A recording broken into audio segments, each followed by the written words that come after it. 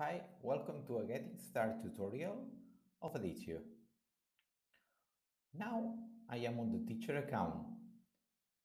Remind that you can use Additio on a web version using any browser, but at the same time you have the tablet and smartphone native applications in which you can work completely offline. If you work offline, remind that here on the mobile devices, you will have an option that is not shown on the web version, which is synchronize. Once you synchronize the data, you will be able to use also the web version with everything that you have had without internet connection on the mobile devices. Here is the main menu in which you have the different groups.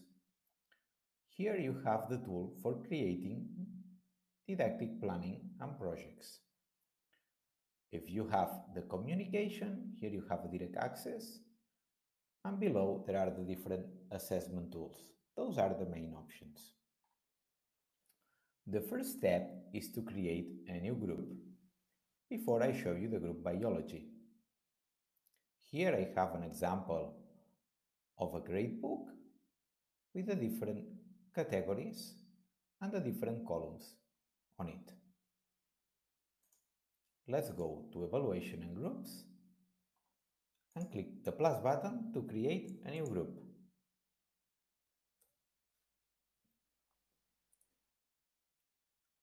I have had a class group and a starting date and ending date of this class group. Now I can set up the timetable. Here, for example, I do classes on Wednesday from 10 to 11 every week. A group, it has been created. Now I have the option to import students. I have different options as base group if I work at school from Excel, which is the most recommended.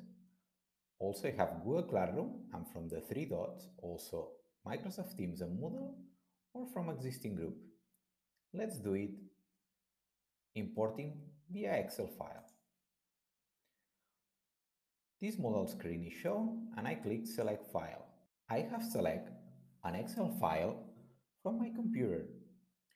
This doesn't have any specific order on the columns. I click import students and here you will see how easy it is to create a new group. By a drag and drop, I can select the specific field of Additio and link it to the field that I have on my Excel file.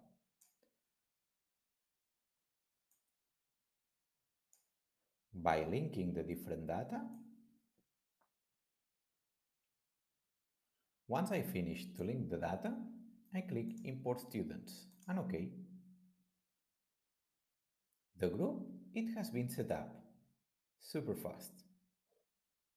The system provide me the first steps in order to guide me how to proceed. If I click here on students, I can import students and pictures.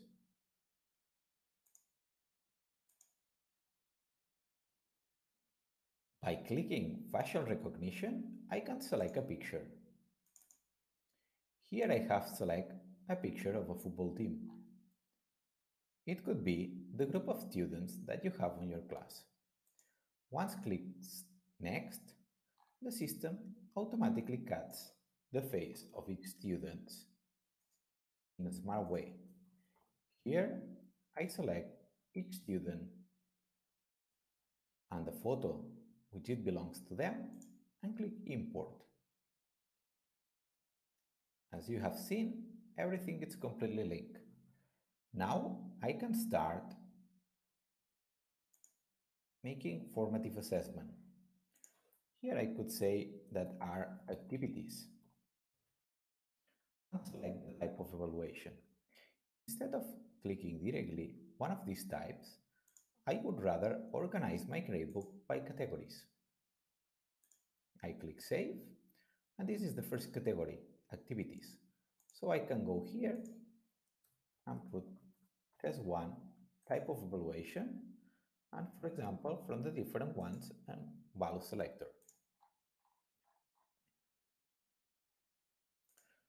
Once this is done, I am starting grading.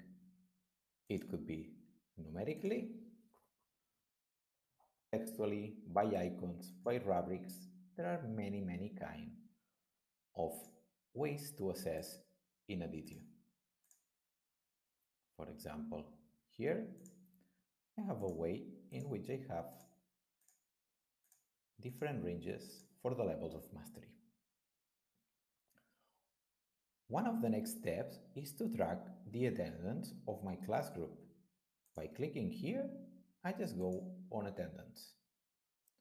I click the plus button and automatically everyone has attended to this class.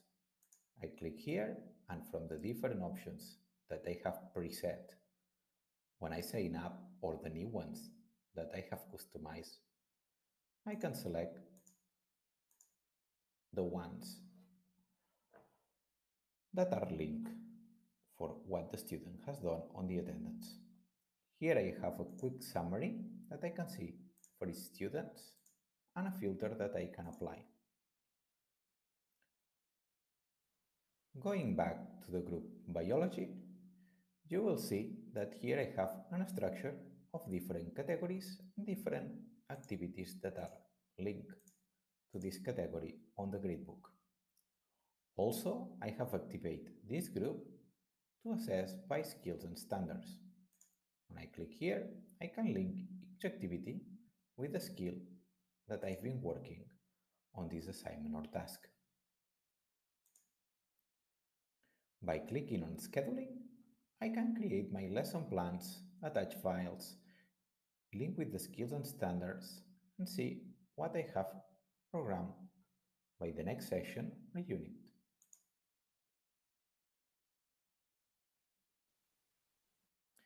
You will be discovering also the didactic planning tool. Here, I can create the curricular concretion, the skills and criteria that it's aligned, and the learning task, and make a complete and robust lesson planning and from the different project sessions units that I am doing on my class. Finally, for the first steps, you have on the web version the option reports that allows you to create customized reports. You can organize your gradebook with different tabs. Here, I can create a new tab, but it could be term.